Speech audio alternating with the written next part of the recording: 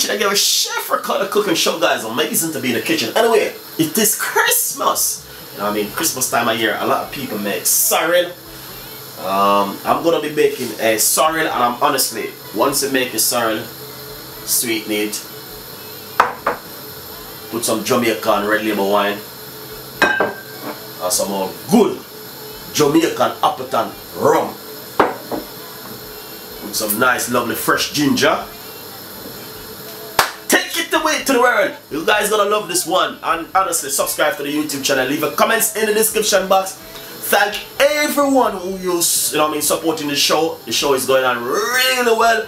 And we know that next year is going to be a great year. And you know I mean I want to take the time out to say thank you so much for your support and for your time watching my video. Leaving your comments in the description box.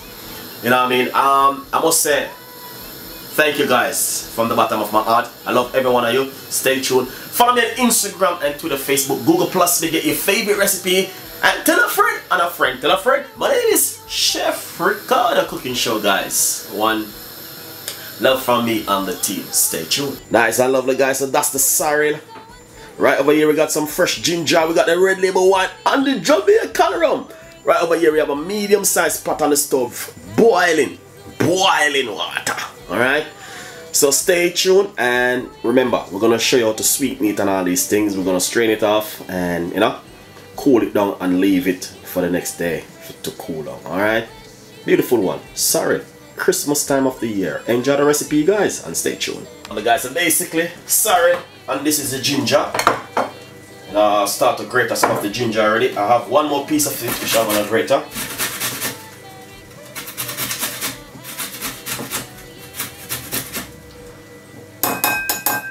Lovely. So that's the ginger. We have a lot of ginger which we're gonna be using. And also we got the white rum and the red label wine. So let's put the camera in the pot to see exactly what's going on. Nice one. So right over here, I got a medium sized pot on the stove. And this is 250 grams of sorrel. So what we're going to do is pop it straight inside of the water like this. Wow, that is beautiful. That is fantastic. Second thing is, I'm going to be using the ginger. I have a lot of ginger, which are greater. Because the more ginger you have in it, is the better for it.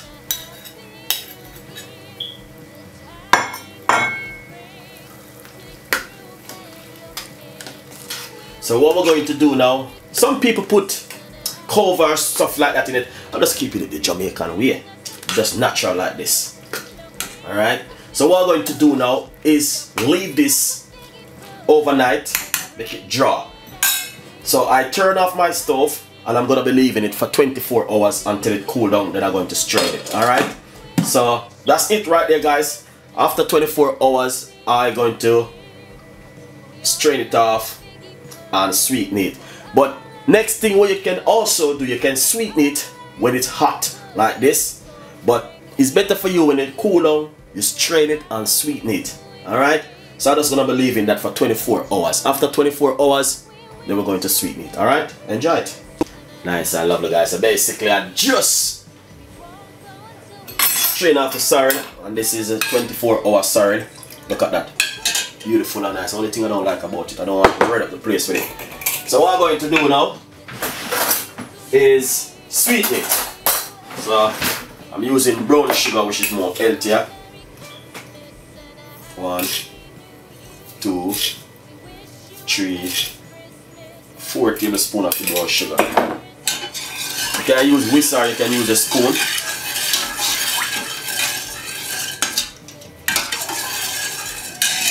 Then what we're going to do, we're going to put some Jamaican white rum in it. One, two cork of the Jamaican white rum.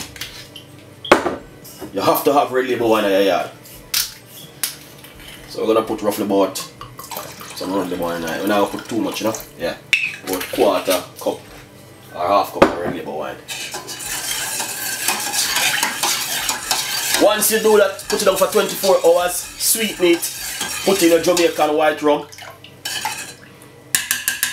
Just give it a taste. Oh my god, I don't need to go no further. This is it. That's it guys. Beautiful drink. I want you guys to enjoy the recipe. Subscribe to the YouTube channel. Now I'm gonna just pour out a glass of it. Really nice. Nice and lovely. So that's the sorrel right there guys. Amazing. Look at that. Christmas. Look. Amazing. Anyway, subscribe to the YouTube channel. Leave your comments in the description box. And as I said, once the sorrel cool down, you know what I mean? Simple.